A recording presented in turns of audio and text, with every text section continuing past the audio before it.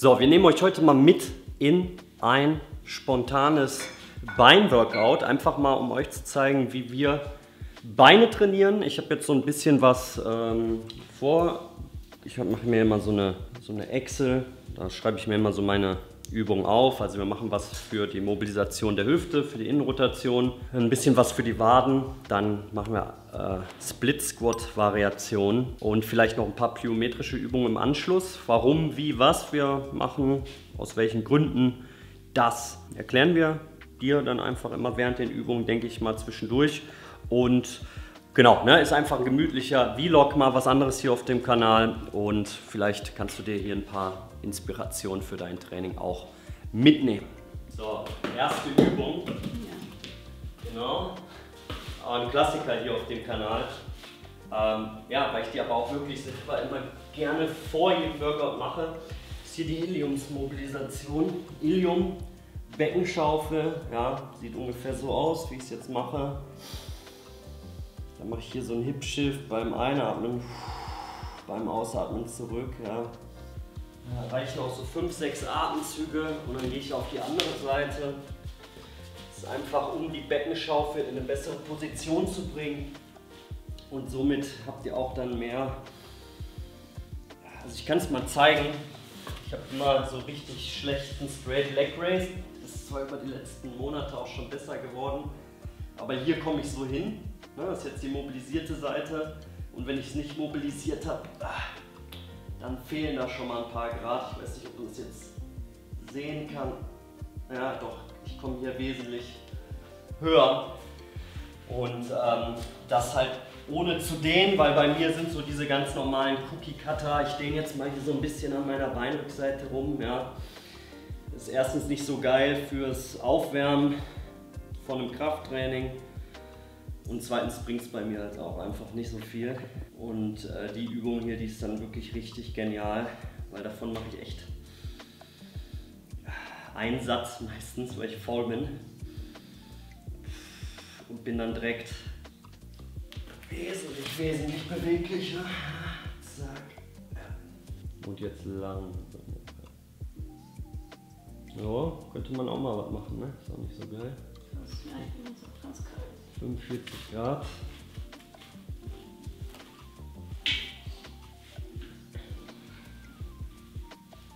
Genau, ne, Hüfte so knapp 90 Grad. Ein bisschen Abstand zwischen den Knien halten. Genau. Und dann wirklich Knieshift. Ja, genau. Und dass das halt auch wirklich das Ding so, dass das Knie wirklich so nach vorne geschiftet wird und der ganze Oberkörper eigentlich mit nach vorne rotiert. Ne? Genau, die Schulter oben auch so ein bisschen. Ja. Und das Knie, das läuft wie auf so Schienen. Ne? Es bleibt so parallel.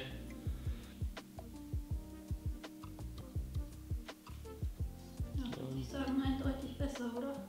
Auch ja. keine Weltklasse, aber besser. Ja, besser auf jeden Fall.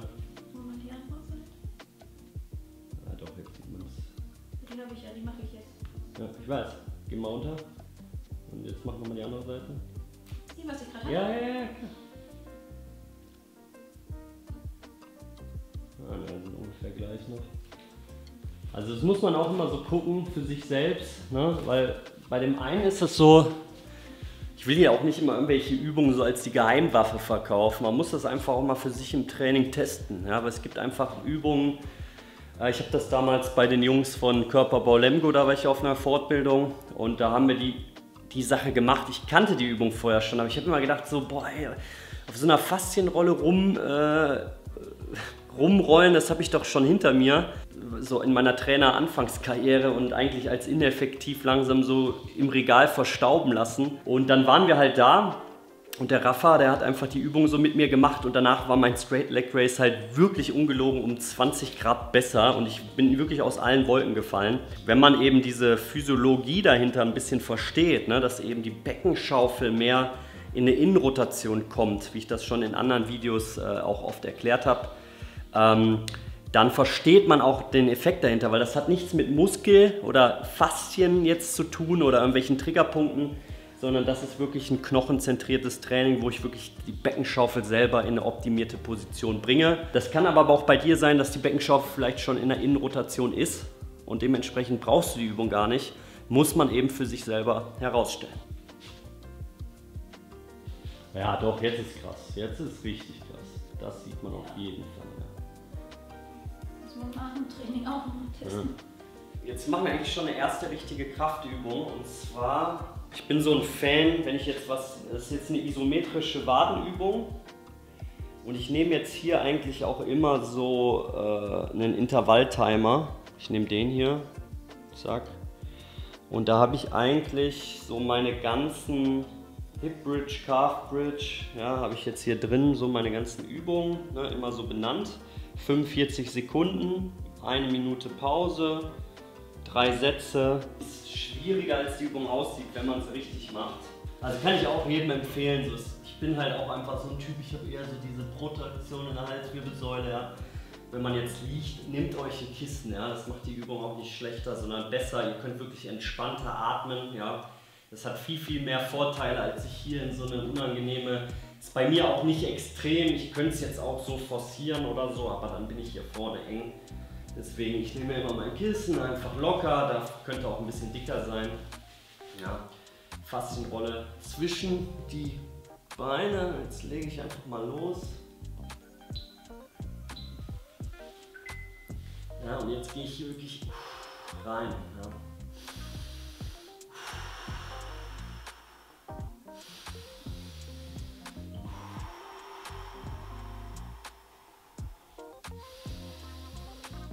Bei der Übung ist wirklich entscheidend, nicht die Faszienrolle zu stark zusammenpressen, sondern wirklich die Fußinnenkante in den Boden und dann wirklich die Haken hoch.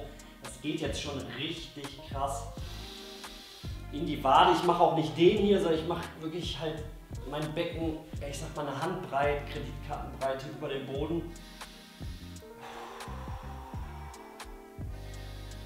Sieht man, wie die Waden arbeiten. Achtung,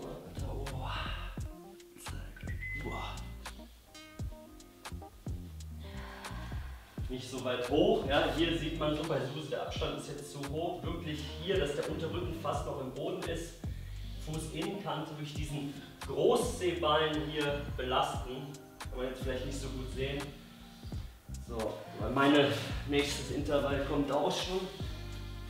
ihr könnt mit euren Zehen auch so weit nach vorne wandern, dass ihr wirklich nur so minimal so eine Kreditkartenbreite mit der Hacke abhebt. Und oft merkt ihr eben auch einen deutlichen Unterschied links versus rechts. Wie viel? 12, 10.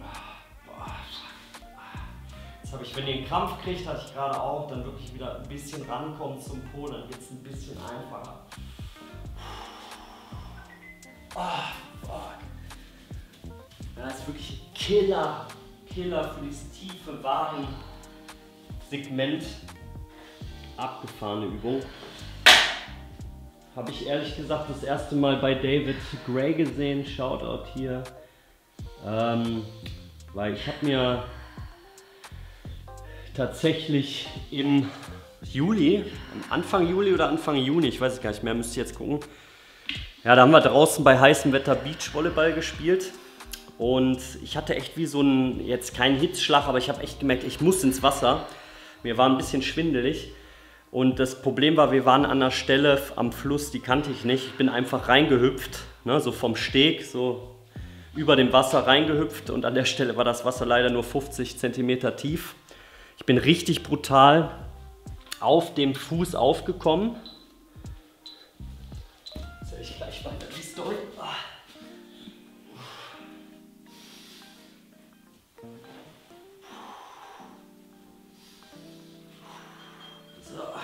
Ja, dreimal reicht bei mir. Ich werde davon morgen echt einen fiesen Muskelkater haben.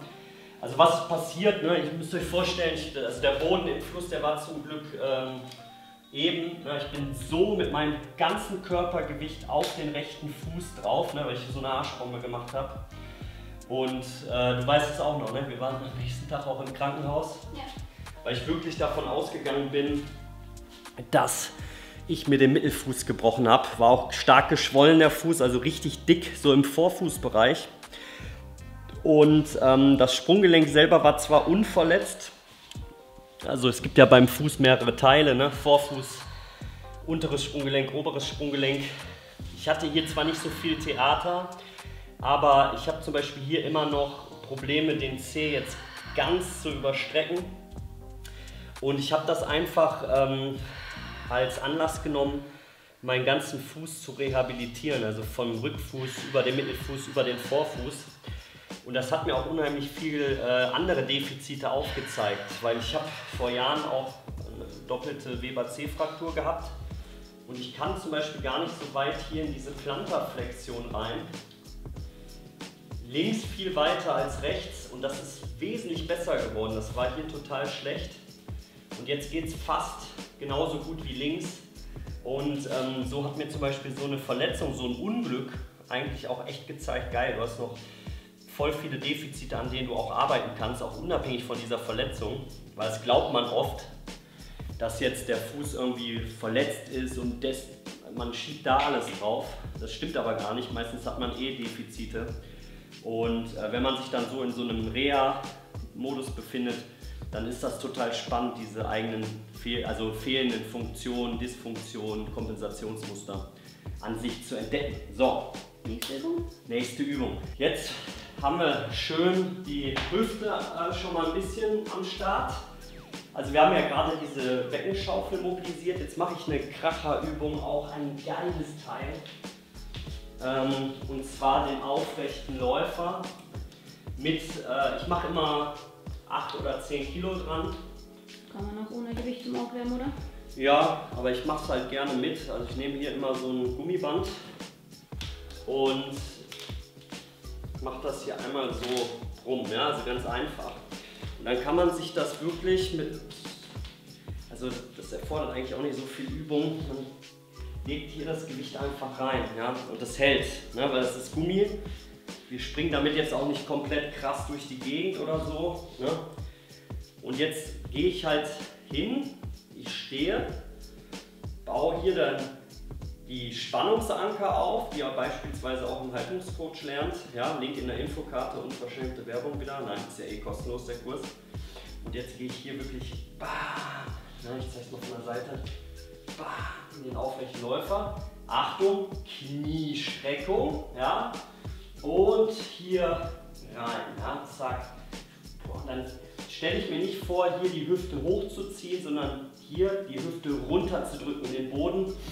Ich habe jetzt eine krasse Ansprache im seitlichen Gluteus, Gluteus medius Bereich wahrscheinlich. Ja. Hier kann ich noch so eine Innenrotation machen, so ein kleines Goodie.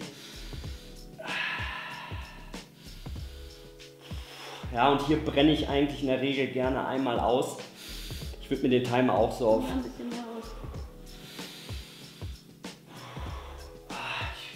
Ich mache das einfach immer so einmal bis es knallt. Manchmal auch mit Timer vielleicht, ja, so 30, 45 Sekunden. Jetzt wahrscheinlich eher 30 Sekunden. Dann wechsle ich, ne, andere Seite.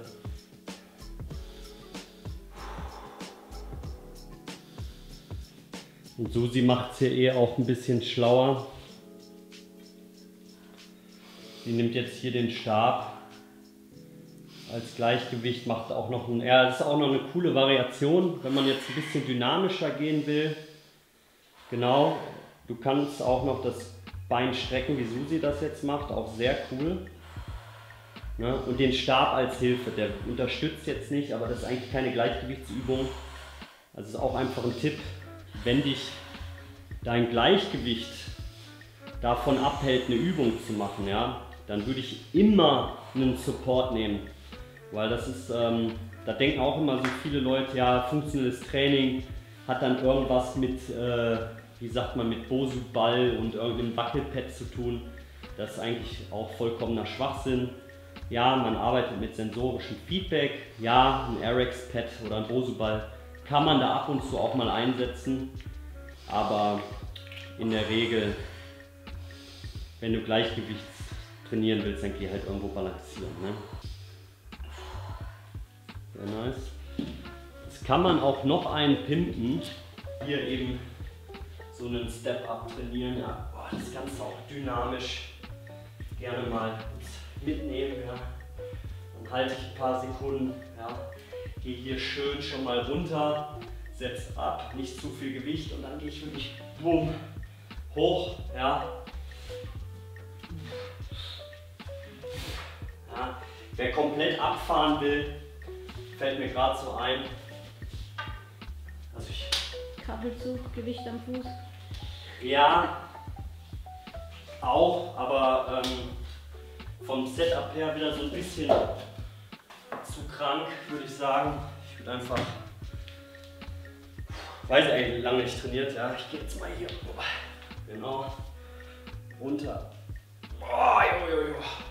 Uh, okay, fuck. Na, das ist natürlich hier boah, Pistol Squats mit. Boah, Alter. Uh, okay. Der geht richtig ab, muss ich ganz klar gerade zugeben. Ähm, ist mir jetzt für ein Warm-up ein bisschen zu krass, also es geht. Aber prinzipiell auch cool. Ähm, Alter, wie viel einfacher bitte der Pistol Squat. Weil wenn du die 8 Kilo hier halten würdest, wäre es so krass einfach. Hier an der Seite macht das den Pistol Squat so viel schwerer. Aber du kannst dann hier zum Beispiel auch den Upright Runner rein kombinieren. Ne? Also was man auch machen kann, wenn ihr zum Beispiel laufen geht oder so, ja. Also allgemein ist für jeden geil, die, das menschliche Gangbild zu verbessern. Ihr braucht, dafür könnt ihr auch ein Gummiband nehmen, ne? also so ein Röhren, so Gummitubes bei Amazon für wenig Geld. Die jetzt hier hin und dann lasse ich das Gewicht jetzt nicht nach unten drücken. Ich könnte jetzt auch noch die Kettlebell hier dran befestigen. Ist jetzt ein bisschen viel Materialschlacht. Also da bin ich auch jemand, ich breche dann Übungen, wo ich jetzt 1000 Kraftfaktoren reinballer. Mache ich ab und zu mal, weil es irgendwie Spaß macht, aber ist wahrscheinlich jetzt für den Heimgebrauch ein bisschen over the top. Na, und dann kann ich jetzt hier, na, jetzt drückt er mich nach hinten und jetzt gehe ich hier richtig habe ich einen kompletten Hüftbeuger, komplex, gangspezifisch, also hochgradig gangspezifisch natürlich. Also hier jetzt drauf aufpassen, nicht nach vorne. Ich hätte auch gerne meinen Stab. Na, also jetzt hier nicht den machen, sondern wirklich hinten bleiben, mit dem Po Becken kippen und dann ah, wirklich hier rausarbeiten. Ja, und dann hier Streckung. Ja, Knie mehr strecken, ah. Genau. Boah. Boah, das haut richtig, richtig, richtig rein. Ah, ich mach die andere Seite gerade mal. Zur Not auch nicht in den endgradigen Gelenkstellungen. Hier, boom, ja.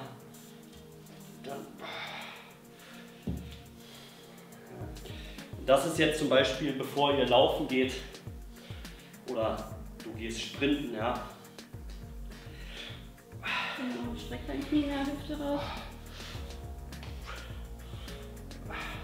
Boah. Ja, puh. So, jetzt bin ich aber echt gut am Start. Quadrizeps, Hüfte, ja. Ähm, tatsächlich, darfst gleich auch noch eins, könnte ich wirklich hergehen.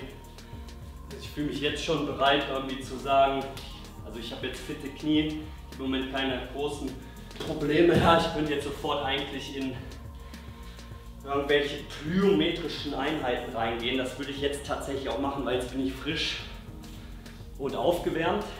Ähm, wir machen es jetzt aber so, auch für dich als Zuschauer, der das jetzt hier auch eher so vielleicht guckt, weil er mal ein paar Probleme hat oder so.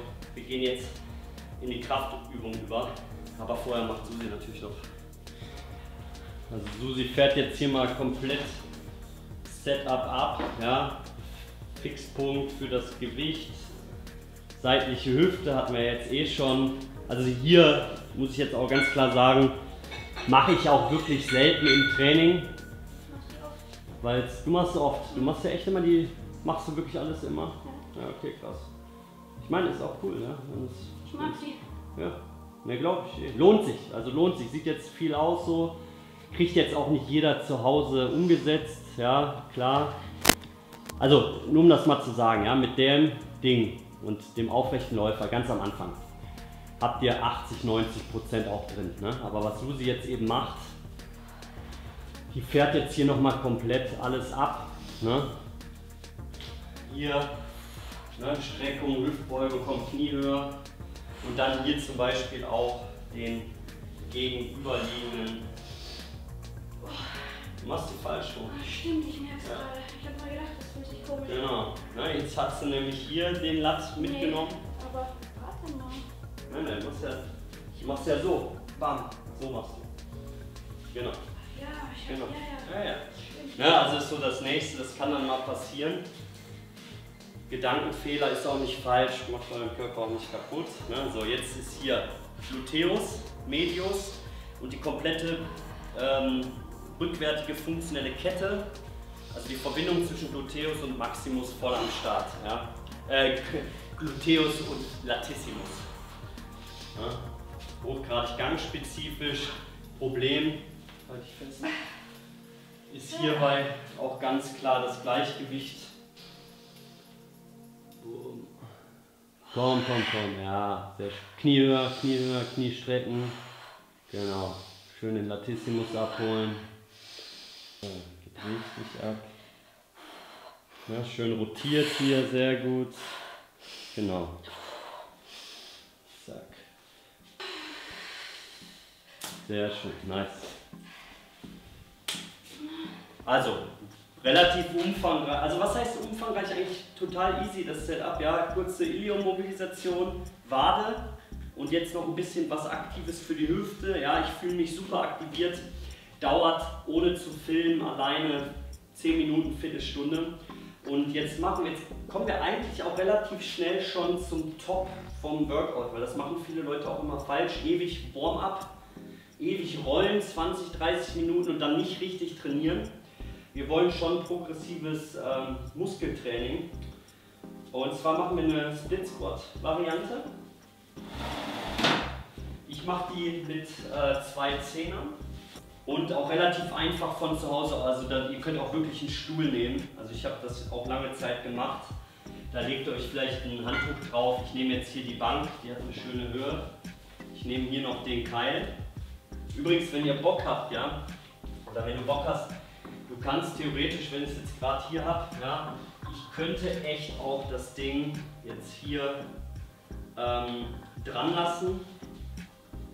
Ja, und dann kann ich hier zum Beispiel den Split Squat zum Beispiel auch erstmal Bodyweight vielleicht zum Warmmachen, einen, einen Durchgang. Also ich mache ein Warm-Up-Set, ist eh eine gute Idee. Ja. Bräuchte ich jetzt nicht, weil ich bin echt schon gut, aber zack. Ne? Ist auch geil, weil ich muss das dann hier noch ein bisschen stabilisieren, habe prinzipiell nochmal schön die seitliche Po-Muskulatur drin. Das ist dann Ultrafokus immer auf dem Po. Ne? Also alle machen dann irgendwie, was machen? Ne, machen hier irgendwie so mm, mm, oder so ein Kack. Ja, oder halt die Rumänien.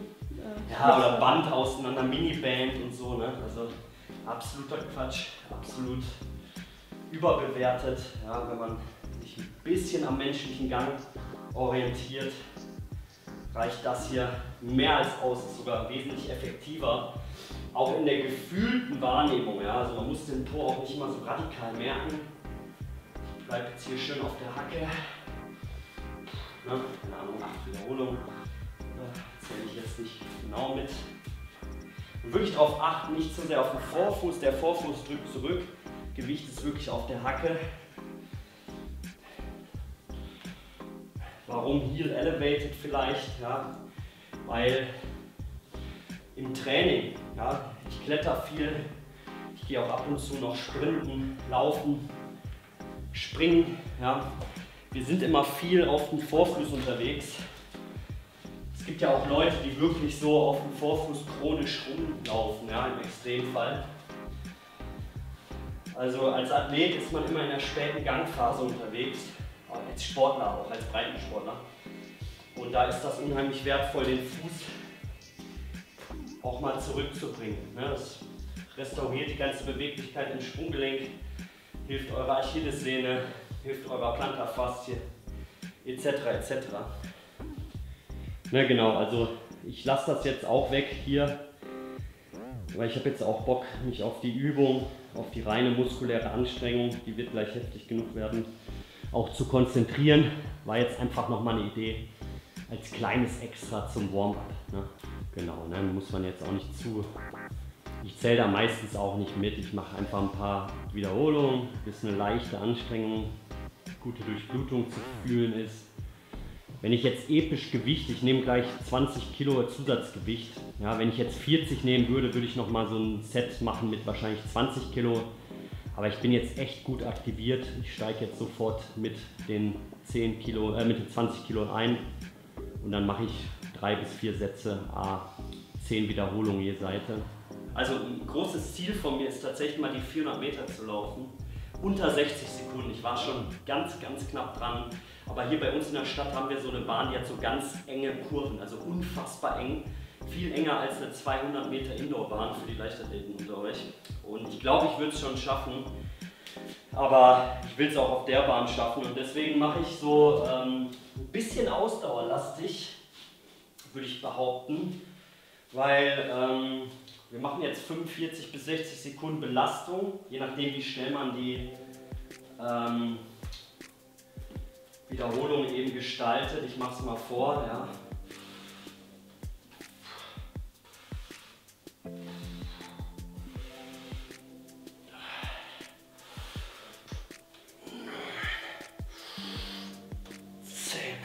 Fiese ist jetzt, jetzt geht's noch, aber man hat das andere Bein schon leicht mitbelastet.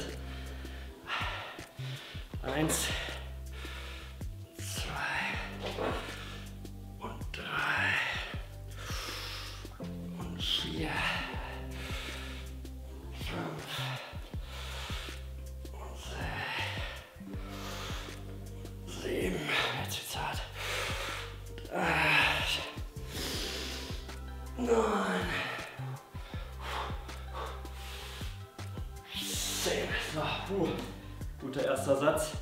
Geht noch. Wichtig, echt, unterschätzt den ersten Satz nie, weil es geht noch. Aber die nächsten Sätze werden jetzt härter. Ja, schön eins, zwei. Schön aufrecht bleiben, macht die Susi super. Also leichte Vorlage ist in Ordnung. Dann mach vielleicht mal einen so mit krasser Vorlage ganz kurz. Na, nicht so hüftdominant hier bei der Übung. Dann spart ihr euch einfach Kraft im Quadrizeps. Einfach auch Bulgarian Split Squats. Auch eine Übung, die ich eigentlich on-off seit Jahren trainiere. Ist eine der ganz wenigen Übungen, die ich seit Jahren wirklich auch mache, regelmäßig. Also, also schon mit Unterbrechung manchmal, aber ist einfach ein Klassiker. Ja? Auch aus dem ich sage jetzt mal, klassischen Krafttraining, wo ich auch sage, hey, das ist echt eine gut durchdachte Übung, die ist für viele Leute sinnvoll, ist gangspezifisch, ist ähm, in Regression zu bringen, also äh, einfacher zu machen für Leute, die eben die es nicht so einfach haben oder Knieprobleme haben, ist für Athleten geeignet. Kann man richtig Gewicht draufpacken, wenn man will. Also mich ballern diese 20 Kilo auch immer noch viel zu krass weg. Ich musste auch mal echt ein bisschen stärker werden bei der Übung. Hier nochmal hier ein bisschen ballert. Naja, noch ein Tipp ist wirklich ähm, immer mit dem anderen Fuß anzufangen, weil es wird echt für die andere Seite schwieriger.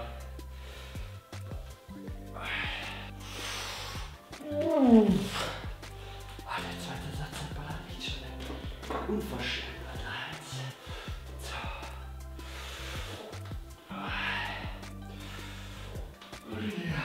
Man auch machen kann, hier Drop und explosiv einmal rausgehen.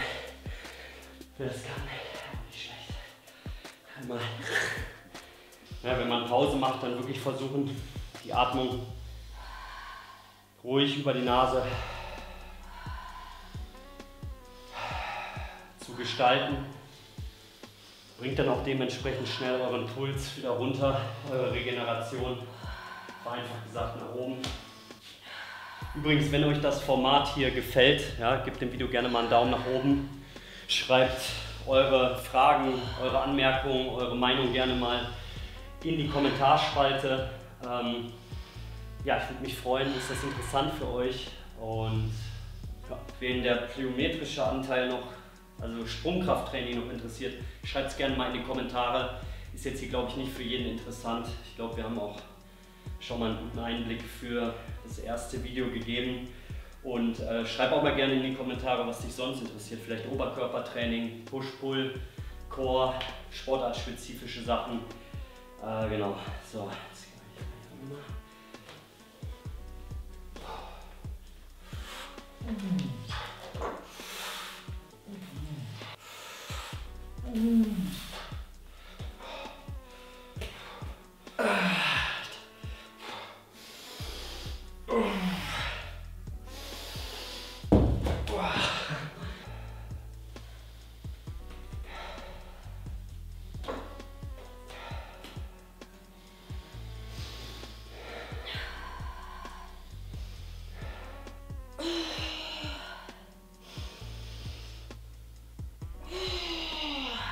vierte Wiederholung war das jetzt? Zwölf. Zwölf. Okay.